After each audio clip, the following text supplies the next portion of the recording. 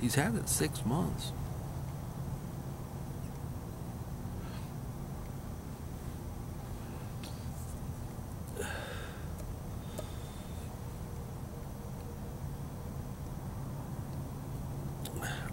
or to the record of the U.S. House of Representatives, even though the nine times it's been proposed to change that, all soundly defeated. Since 2000.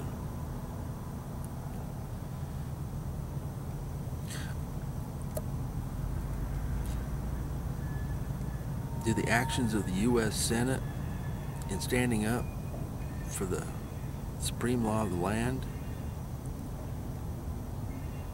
match their record? And you wonder why politicians, and you wonder why you're angry at politicians. Well, shouldn't you be angry at your actions in building up the kingdom of God? The kingdom is the political kingdom. I'm not talking about the church. Thy kingdom come, thy will be done. Now, let me ask you this other question. If the Savior came today, the Savior Jesus Christ, in your polluted and corrupted state, how would you expect Him to receive you in your actions for the U.S. Supreme Law of the Land, United States Constitution, in your actions in defense of the supreme law of the land? I mean, we get down to the basics here. You're citizens. You're responsible. You're accountable. What is your record? What is my record? But one of faithfulness and righteousness. What is your record and how are you going to face the Savior, the King, His Majesty, Lord of hosts, the Creator of the earth and the heaven? How have you represented yourself in defending the U.S. Supreme Law of the land? Where has your money gone? To the lukewarm churches? The lukewarm because they have abandoned the law of consecration? They have abandoned the poor. They have abandoned the needy. They have abandoned the meek.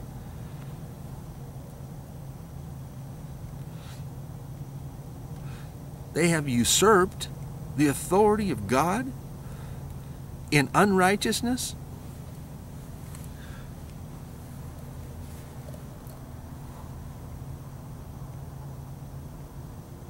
Teaching by the precepts of men rather than God? What's their responsibility? What is their accounting if it is not to God? In His holy perfection, in the way that He while he was on earth, set up the church. And you wonder why I tell you to come out of the churches in your support? Oh, you can go to the church, be sociable, but come out of the church in your contributions and your actions of support. Come out of the whore of Babylon.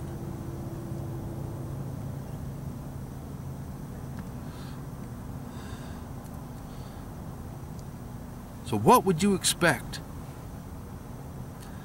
the Lord Jesus Christ to do? Would he be pleased with your actions?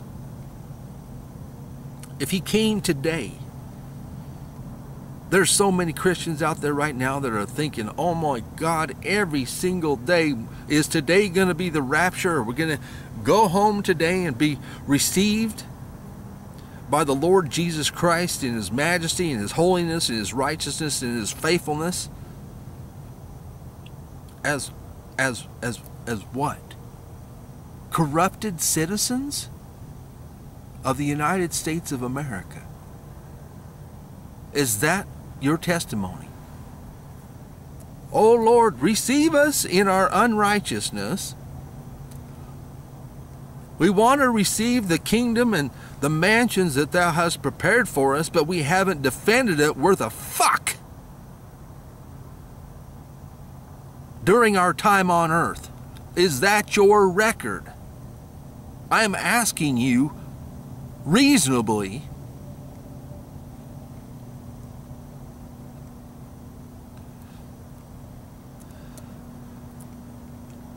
what gives you the right to receive celestial glory as the Lord's celestial glory and all that my Father have you can also have what did the Lord pay? Did he not pay the price? He paid the price for forgiveness, for his ability to forgive. He did not pay the price for you to walk in sin all the days of your life and not repent. Forgiveness is given on the in the balance of repentance. That means you change and you don't go back and sin anymore. That's what forgiveness is given for. You know what? I am so sorry, Lord. I'm going to change my ways right now. I'm going to dedicate my funds, my actions, my work, all my belongings, everything to you. Now, what is the Lord's reward for that kind of?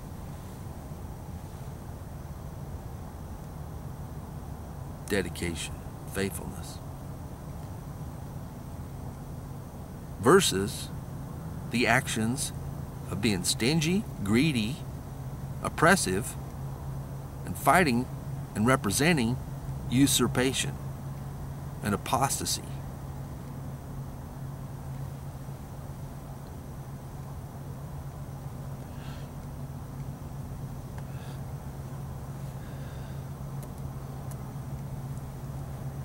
Slander.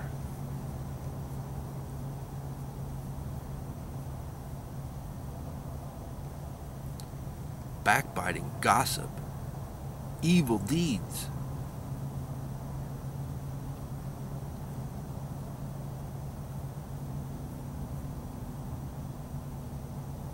Evil actions, unholy actions, and you expect to receive the Lord Jesus Christ, His Majesty,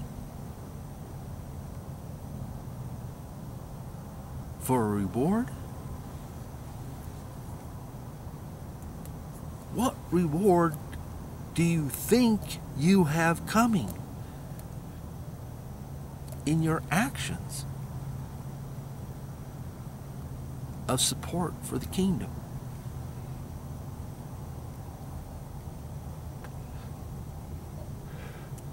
Only one man in the United States of America, one, stood up against the Republicans and Democrats in a court of law and took that clear to the U.S. Supreme Court. That's the highest court you can go to. After that, where does it go? Where does it go? But to the altar of God. And how do you think the Lord shall judge those actions in the balances of justice? Well, I'm just a little peon and I can't really make a difference with my support. I was just a little peon, Lord, and I couldn't vote. Is that your cop out? Or is your vote that is recorded in heaven for apostasy and for usurpation, for unholiness, for unrighteousness?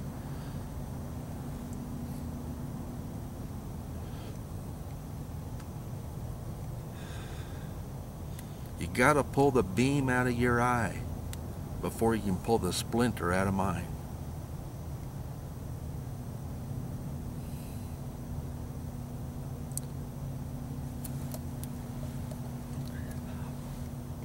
Is not chastisement,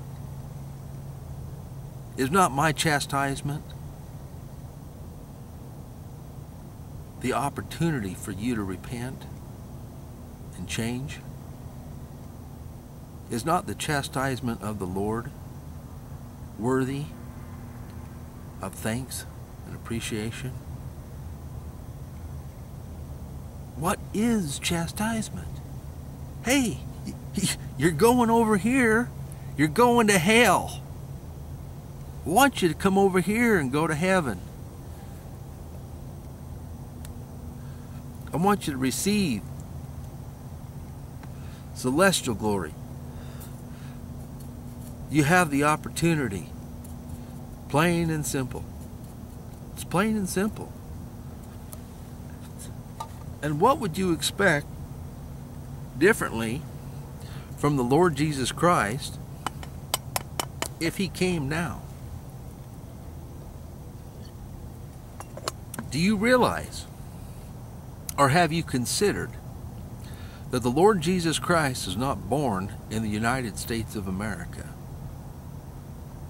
To U.S. citizen parents, do you understand that?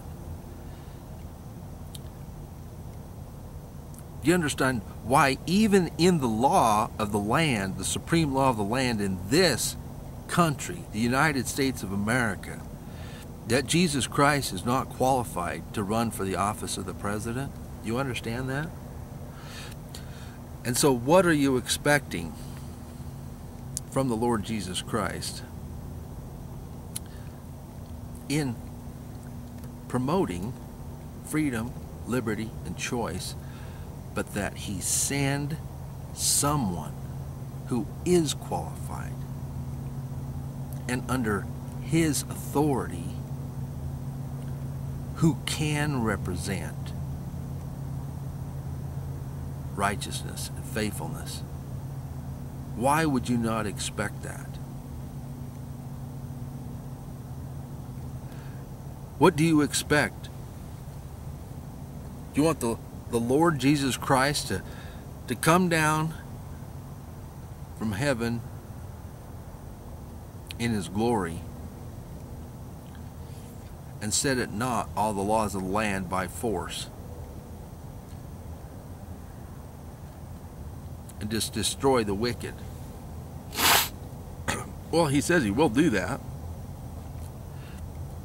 But it's choice and freedom and liberty that he's represented in establishing this great nation. And under the laws, you'd expect the Lord to act by and through the laws he's established, through his servants. Would you not?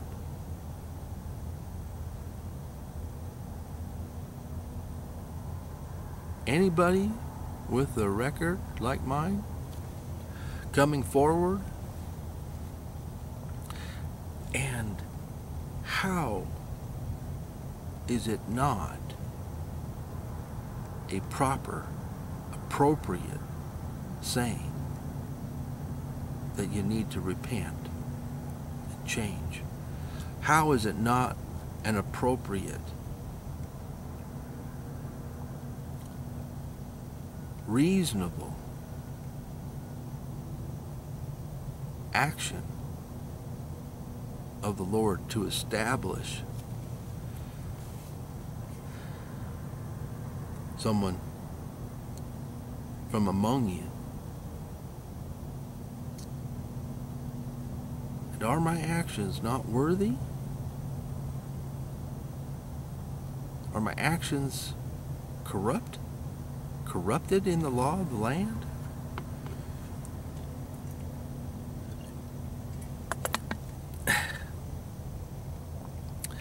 It's a cop out. It's a cop out for you to think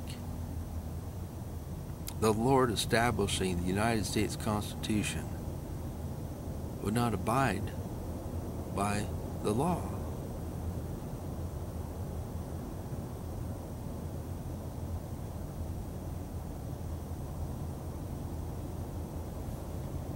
Does it make sense? And do you not understand that those in seats of power elected have the burden for the truth, for righteousness, for holiness to the Lord?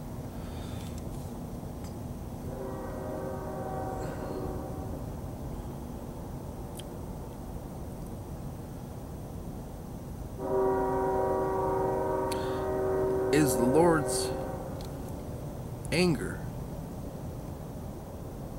against you justified?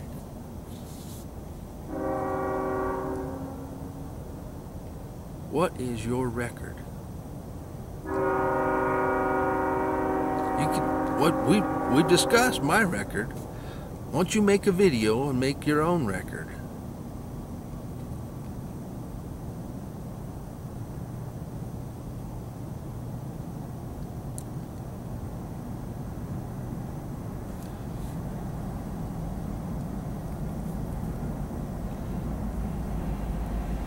I'm Cody Robert Judy, and I'll talk to you next. This is a voice crying in the wilderness. Repent! Repent! And be counted worthy of the Lamb.